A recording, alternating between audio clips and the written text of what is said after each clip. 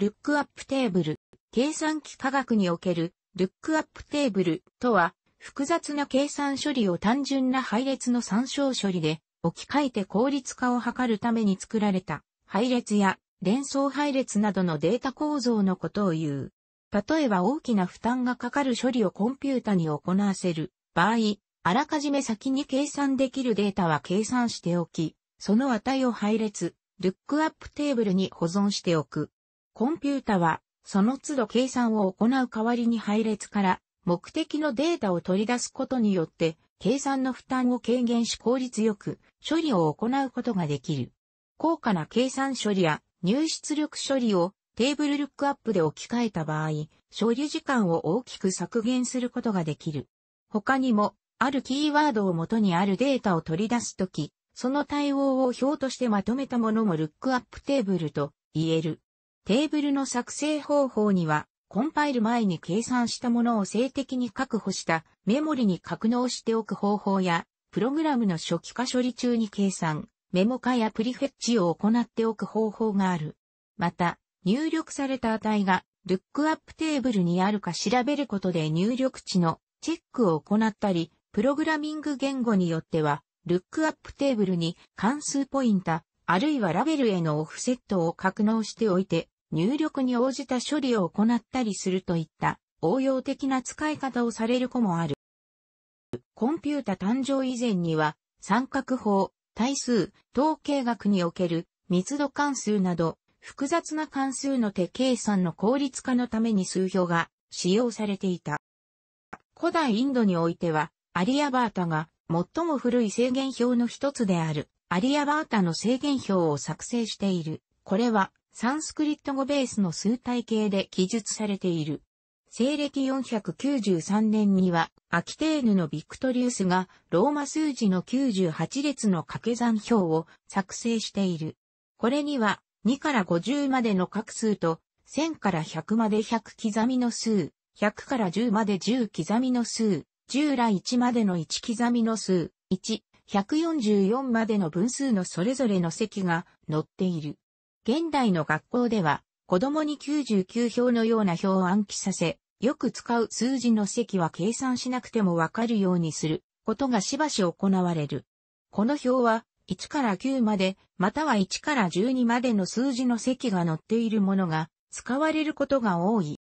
コンピュータが誕生して間もない頃は、入出力処理は当時のプロセッサの処理速度と比較しても非常に低速だった。そのため、読み込み処理を減らすため、プログラム中に埋め込まれた静的なルックアップテーブルや、動的に確保したプリフェッチ用の配列によく使われるデータ項目だけを格納するといったことが行われた。現在ではシステム全体でキャッシュが導入され、こういった処理の一部は自動的に行われるようになっている。それでもなお、変更頻度の低いデータをアプリケーションレベルでルックアップテーブルに格納することにより、パフォーマンスの向上を図ることができる。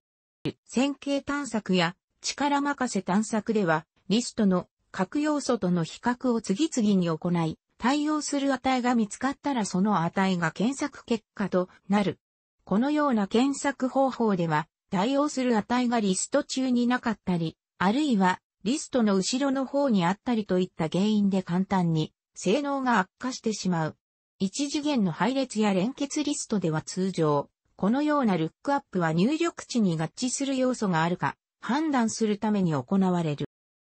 連結リストには配列と比較して以下のような利点がある。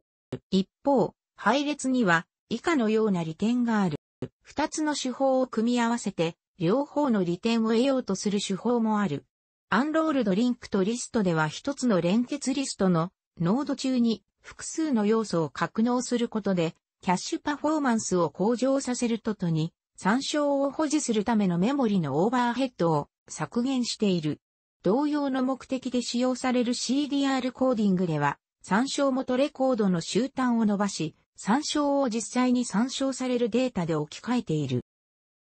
分割等地方の一つである2分探索法は、配列を2つに分割し、配列のどちらの側に対象の要素が存在するか判断するという処理を検索対象の要素が見つかるまで繰り返す方法である。配列がそうとされている場合のみ利用できる方法だが、大きな配列に対しても良好なパフォーマンスを示す。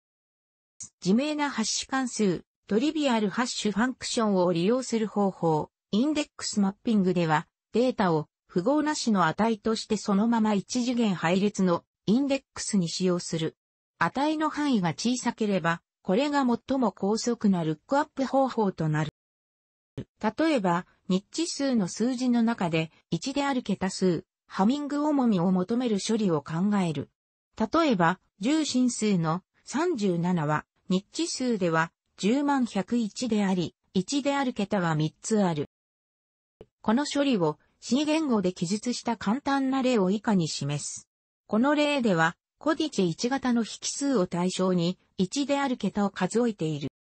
この一見シンプルなアルゴリズムは実際に実行すると近代的なアーキテクチャのプロセッサでも数百サイクルを要する場合がある。これはループ中で繰り返し分岐処理が実行されるためである。分岐処理は遅いことが多い。コンパイラによっては最適化の際にこの処理をループ展開することで性能がいくらか改善される場もある。しかし、自明なハッシュ関数を利用したアルゴリズムであれば、よりシンプルかつ高速に処理が行える。256個の要素を持つ静的なテーブル、名前はコディチェニとするを用意し、各要素には0から255までの数の1の桁数を格納する。コディチェ1型変数の各バイトの値を自明なハッシュ関数としてこのテーブルをルックアップし、それを足し合わせる。この方法であれば、分岐は発生せずメモリアクセスが4回発生するだけのため、上記のコードよりもずっと高速である。上記のコードは、コディチェ4を4バイトのコディチェ5配列にキャストすれば、ビット積、コディチェ6とシフトが取り除けるのでさらに高速化できる。また、関数化せずインラインで実装しても良い。なお、現在のプロセッサでは、このようなテーブルルックアップは逆に速度の低下を起こす可能性がある。これは改善前のコードはおそらくすべてキャッシュ上から実行されるが、一方でルックアップテーブルがキャッシュに乗り切らなかった場合は、低速なメモリへのアクセスが発生するためである。さらに、上記の例では、4回のルックアップそれぞれにおいて、テーブル中要素のアドレスを計算する必要がある。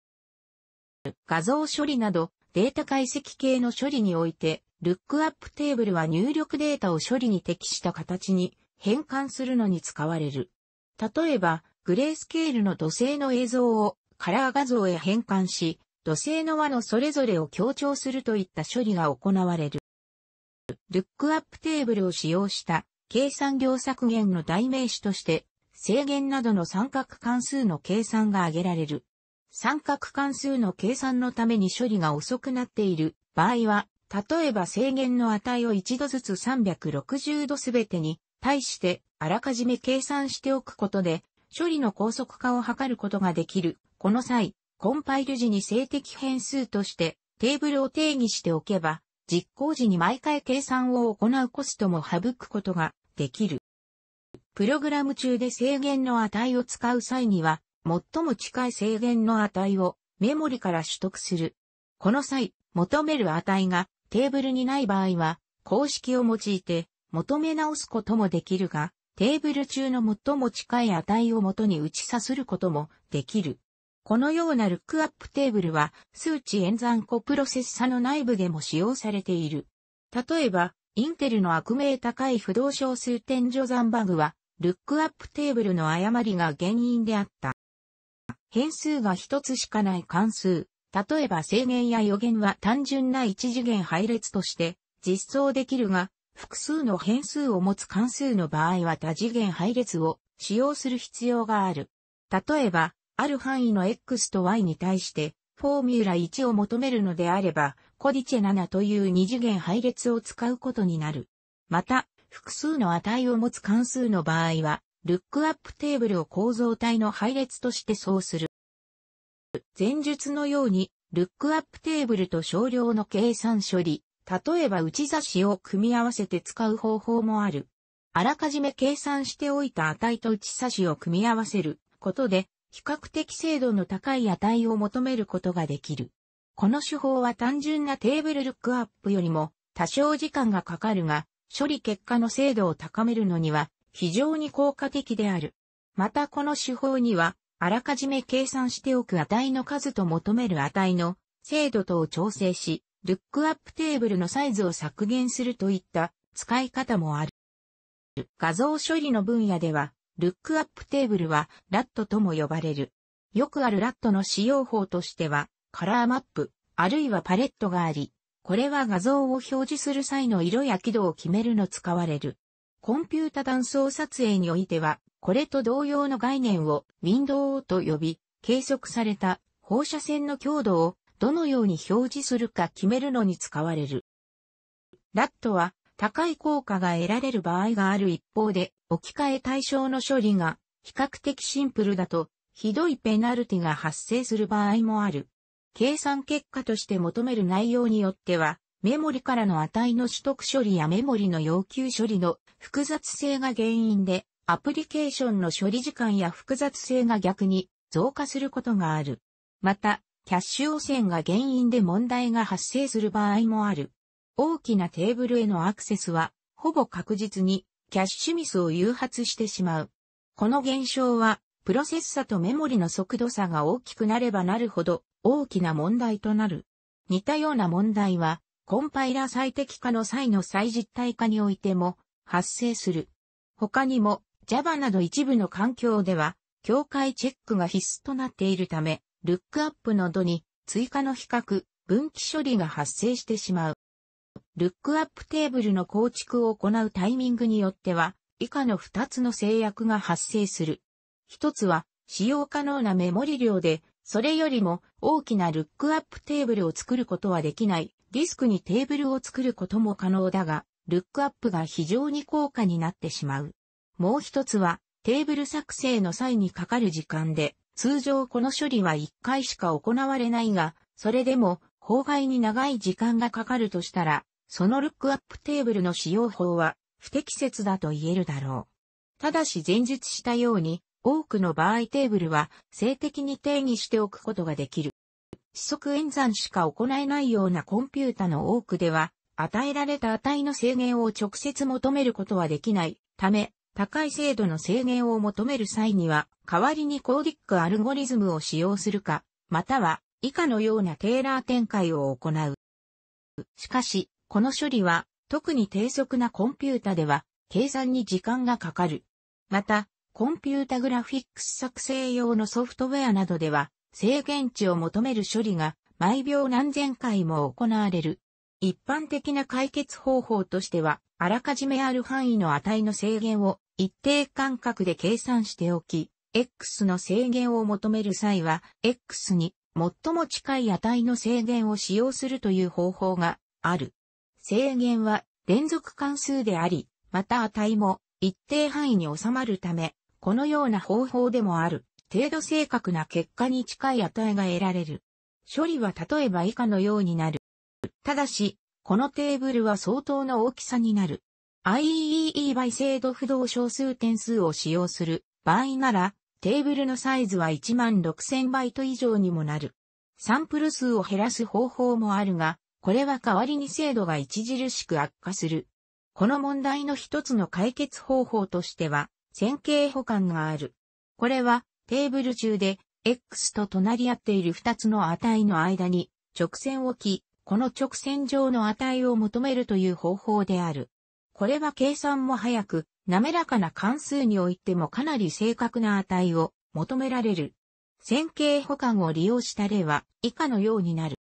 その他には制限と予言の関係、及び対称性を利用して、少しの計算時間を引き換えに、テーブルのサイズを1、4にする方法がある。この場合、ルックアップテーブルを作成する際に、第一証言だけを対象とする。つまり、フォーミュラ3の範囲のみ、制限の計算を行う。値を求める際は、変数を第一証言に当てはめ直す。角度、フォーミュラ4の範囲に直した後、もともとフォーミュラ4の範囲しか考慮しないのであれば、これは不要。正しい値に変換して返す。つまり、第一証言なら、テーブルの値をそのまま返し、第二証言ならフォーミュラ6の値を返し、第三証言と第四証言の場合は、それぞれ第一証言と第二証言の値をマイナスに仕返す。予言を求める場合は、フォーミュラ7だけずらした値、つまりフォーミュラ8で求めた値を返せばよい。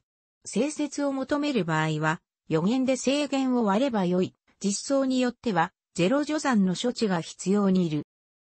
打ち差しを行う場合、不均一サンプリングを利用することで、ルックアップテーブルのサイズを削減できる。これは、関数の値が直線上にしか変化しない部分では、サンプリング点を減らし、そうでない部分では、サンプリング点を増やして近似値を実際の関数のカーブに近づけるという方法である。詳細については、打ち差しを参照すること。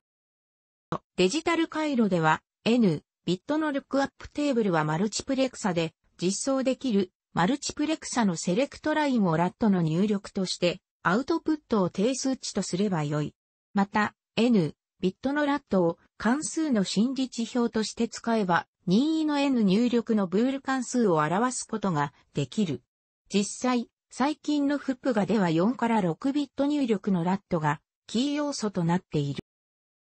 楽しくご覧になりましたら、購読と良いです。クリックしてください。